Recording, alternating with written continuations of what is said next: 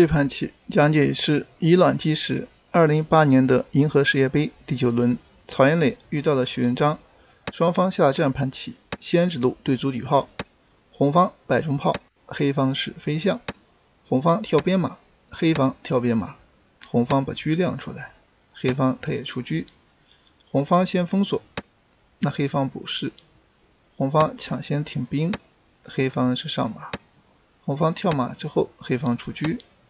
红方出来抓炮，黑方退两步，将来是要炮八平七。红方抢先走了炮八进一，到这儿的话，他是要走过河车。那么黑方正常进主要队，红方则是有一个拆炮啊打向抽车的变化，要得子啊，所以黑方就先忍，因为红方车没跟，所以暂时不能打马，那就冲过去啊，黑方就吃。到这儿的话，红方冲边兵，准备继续上马助攻啊！这个攻势确实挺猛。黑方的话上马，到这儿的话，他可能有一个马的进七啊。那这儿的话，红方就先捂起来。你要是上马，直接进去抓你啊。黑方的话，他是退了一步，准备呢卒三进啊打车。那红方这棋啊就上了。面对这个卒三进一啊。红方也是浑然不惧，因为你要这么走的话，他车八平五杀通了，将来还吃着炮啊，人家担子炮，所以话这个棋啊有顾忌啊。这儿黑方是上马了，他是想下一步棋的打车啊，红方则是过河车盯住他要吃，这里黑方能走就是退回去啊，或者炮三平四，你是打双车，当然红方可能平炮在对啊，会去有先手，所以先退回再平炮，这样就比较稳了。那么他直接平过来啊，是继续贯彻打这个车。这儿的话招法比较强硬啊，那红方就简单把车换掉，因为吃着车打着马，非换不可。换完之后呢，黑方等于说被红方给吊住了啊，因为你现在冲卒要把你炮吃了。那到这儿的话，红方先手啊，黑方能做的就是先打一步马，红方先引过去啊，再平过来，通过对炮的方式打双，这样的话可能会好一点。他直接平过来的话，看着好像对炮，其实呢，红方兵五进一啊，将就计。你要对的话，他打掉，你一打他车推过来吃双，所以呢，这个兵五进一把马陷住了，看着要丢子来不及跑，那就要失子了。所以到这儿反而被人家利用了一下啊。这步棋呢可以说是以卵击石呀。然后他选择进边卒，到这儿的话，那红方补士啊，黑方是升炮了。接下来红方也就打掉，跟他换。黑方也就吃，通过转换之后呀，他要吃象啊，所以黑方选择进炮打马，红方呢选择献个兵啊，他这个棋呢就是把这个马硬往里奔啊，将来这个棋非常凶狠，如果你要长车的话，他可能要踩象啊，踩完之后这边是有一个闷攻太厉害，所以呢受不了。这个棋啊，你如果回马去打啊，踩车，他一平炮仍然是要底线将军啊。那你再上来看的话，它有一个打车吃马的棋。你要是退车的话，它砍掉马仍然是闷攻啊，有用。充足吃炮要换，它可以兵五进一啊，所以最终这个结局呀，它总是可以把马吃掉。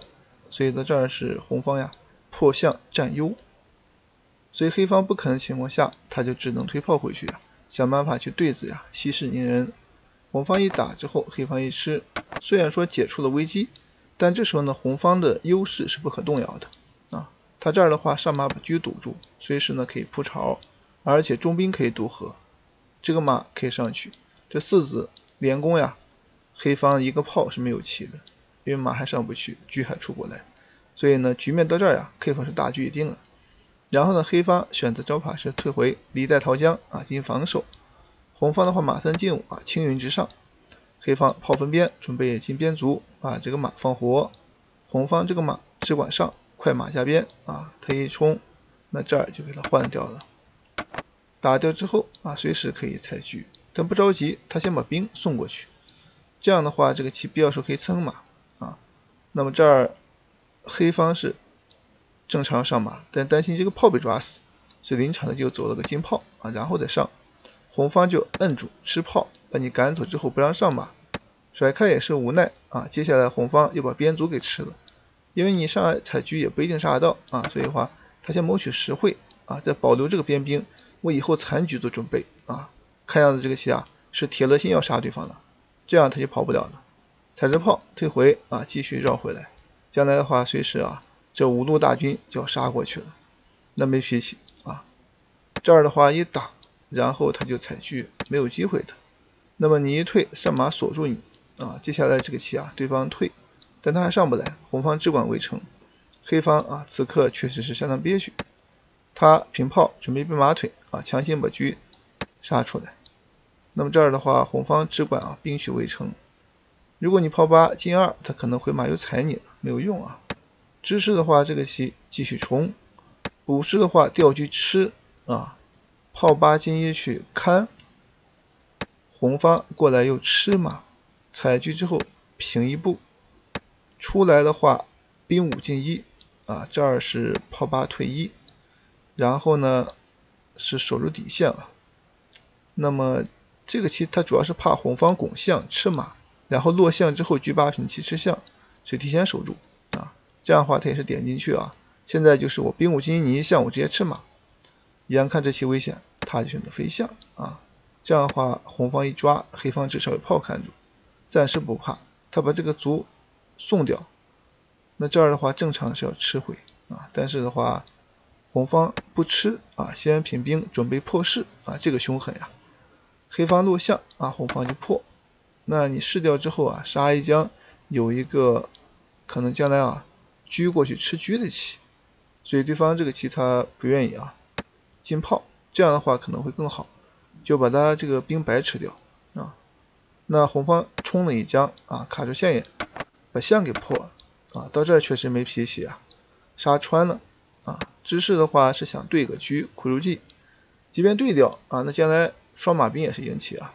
红方不对啊，车退一步，那这个棋控盘更严厉。对方的话看似吃了个马，红方这踩一将呀，就输掉了。为什么呢？那你下去八角马呀，那就上，上来之后这跳一将把车给抽了。所以这个棋啊，瞒天过海确实漂亮。给你吃个马，对方还真吃了。结果人家有一个将军之后抽车的棋，所以在这儿许文章吃也不是，不吃也不是，进退两难之际啊，最后啊被曹安磊把车给抽了。那这盘棋啊，曹安磊获胜，套路太深了。